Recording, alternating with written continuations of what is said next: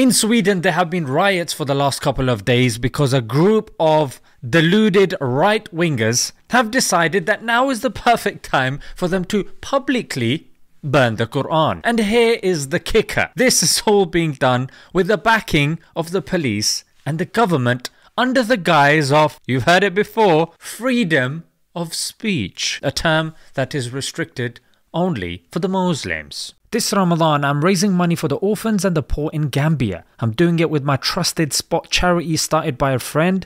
It's grassroots and allows donors to go and visit. I've been twice.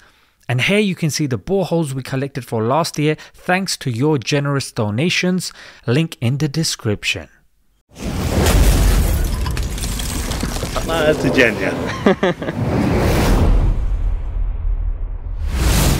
This was done in a predominantly Muslim area to, let's face it, incite and provoke the Muslims there. And that's exactly what happened. The Guardian says about 100 youth were involved. BBC says 200 youth were involved. Regardless, the person responsible for breaking the Quran was injured. Oh, yes, yes, and you need to hear this.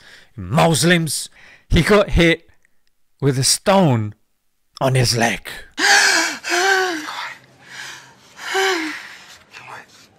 Officials say he may survive this ordeal, but his family and friends will be with him during this testing time. But you know, as they say, nothing's written in stone. Lol. Enough jibber jabber, let's look at the Swedish Penal Code, Chapter 16, Section 8.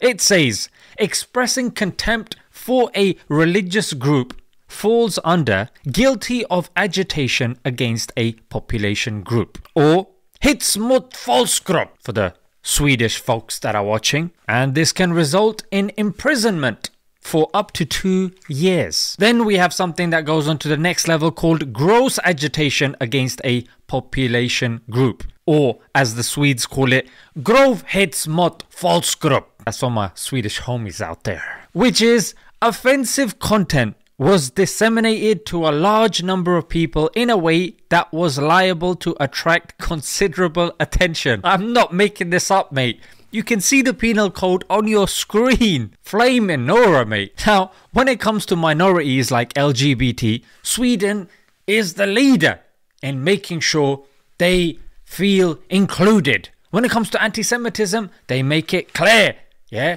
categorical their stance against anti Semitism. But when it comes to Muslims, even the law takes a backseat. And then we're hit with the same old nonsense of freedom of speech. But according to your own rules of freedom of speech, it doesn't apply here, yeah?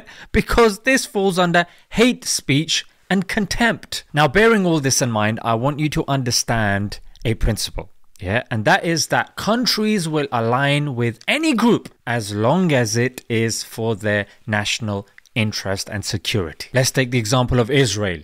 Yeah, it's clear that they have aligned with far right groups, even those that are anti Semitic. We know even in the UK, as documented by Mark Curtis, they have supported religious groups to remove unfavorable regimes. We saw this happen in Afghanistan where they supported the Mujahideen against Russia. We saw it happen in Egypt. They supported the Muslim Brotherhood against Gamal Abdel Nasser. We saw it happen in Indonesia where they supported Darul Islam against Sukarno. And we saw it happen in Iran where they supported the followers of Khomeini against Muhammad Mossadegh. And then if we move on to America, of course, it's going to take the whole episode if I go through their countries, but William Blum enumerates them to be at least 50 countries that have been interfered in, mostly democratically elected since World War II. Now, bearing all of this in mind, Russia warned Sweden not to join NATO. We also know Russia favors far right groups to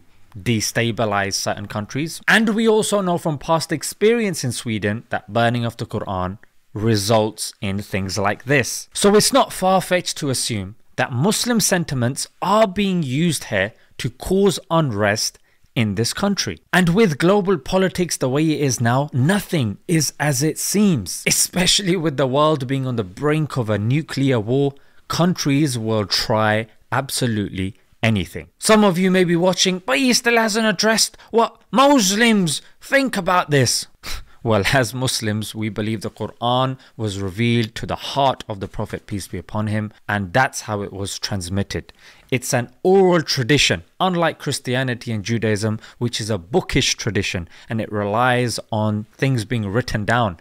In Islam, we have something called the chain of transmission. So, burning of a book is not going to end our religion, but of course, we do feel inside. But most Muslims are sensible. Let's leave it there, guys. Until next time. السلام عليكم.